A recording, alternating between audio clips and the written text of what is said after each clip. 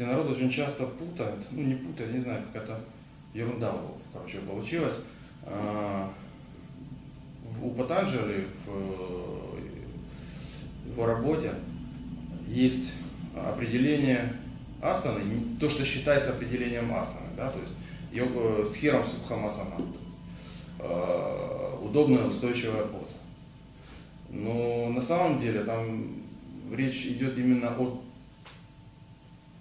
путаница возникла, потому что асана это положение тела, это поза, там, форма, фигура.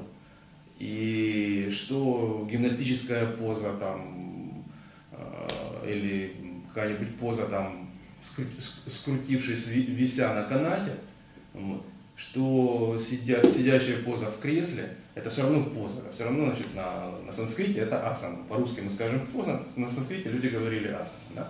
То есть поэтому э, Естественно, что Патанджали написал с Сукхам Асана, когда он говорил о том, что для того, чтобы созерцательные техники практиковать, нужно сидеть устойчиво и удобно. Все, больше там ничего не сказано. И народ из этого стхиром сукхам асанам начинает наворачивать и вытягивать, как высасывать из пальца какие-то значит, мистические откровения. Нет там никаких откровений. Там просто сказано, как нужно сидеть для того, чтобы вот эта вот работа вся мозговая и э, внимание получилось нормально. Все. Вот. А что касается асанхатха йоги, да, когда говорят, что вот вся асана должна быть э, с тхером сухом, она должна быть устойчивая и э, расслабленная, да? Ну какая напрягстойка на руках может быть расслабленная? Руки работать должны, тоже должны работать, потому что иначе ну, человек не будет стоять на руках. Да, нужно расслаблять все, что не нужно для удержания этой позы. Но то, что для нее э, важно, оно должно наоборот напрягаться, потому что за счет этого напряжения, собственно говоря, асана и срабатывает. Гимнастическая поза, да, гимнастическое положение тела, то есть упражнение. И речь в хатха-йога прадипике, когда там говорят об асанах, и когда Патанджали говорит об удобной позе для, э, ну, назовем это, медитации, э, совершенно разных вещах. Не надо это все полить в одну кучу и делать глубокомысленное умозаключение, которое на самом деле э, яйца выедено не стоит, потому что это все гонево, это все инсинуация, да? То есть, ну, как бы проще. Подходим проще, да? Человек описал практический алгоритм, метод, да, для того, чтобы кто-то то, то сядьте спокойно, тихо, удобно и устойчиво. Все. И сидите.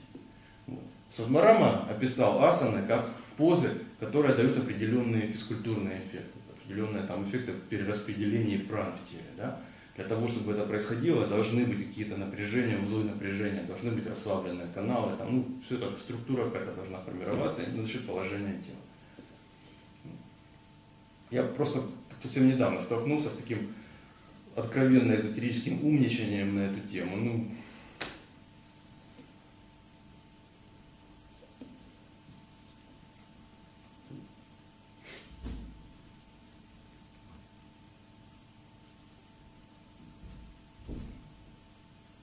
На самом деле все просто. Положение тела, оно положение тела и есть. Асан – это асан. То есть это просто фиксированное положение тела. А оно может быть совершенно ну, каким угодно, может быть гимнастическим, может быть удобным, можно вообще там танцевальная поза, это тоже асан. Просто поза. Обыкновенное слово.